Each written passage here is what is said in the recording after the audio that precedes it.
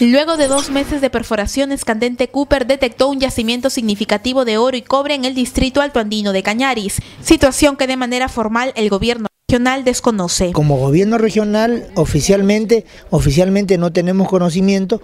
Suponemos que si, si la empresa ha encontrado ese tipo de mineral, oportunamente lo hará conocer primero al Ministerio de Energía y Minas porque es el órgano competente y empezará con la segunda fase, que es la fase permisos para explotación.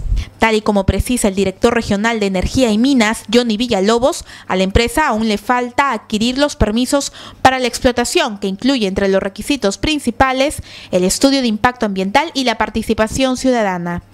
La empresa justamente le falta elaborar su estudio de factibilidad para ver si el mineral encontrado es propicio para explotarlo o no, por cuanto eso obedece a un periodo y también a una evaluación económica que ellos van a hacer. Eso es lo que falta. Una vez que la empresa formalice sus pedidos, la región Lambayeque podría beneficiarse económicamente, pues en la zona de Cañariaco Norte se estima una reserva de 7.500 millones de libras de cobre. Ahora se conoce que también existe oro.